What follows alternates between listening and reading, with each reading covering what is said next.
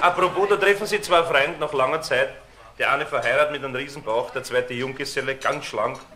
Sagt er mit dem Bauch zum anderen, sag einmal, wie hast du das gemacht, dass du so schlank geblieben bist?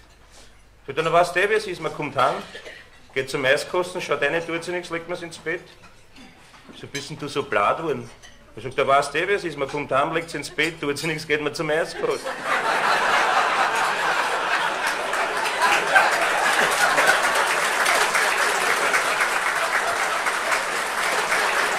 Kleine Franz kommt ganz betroppelt heim.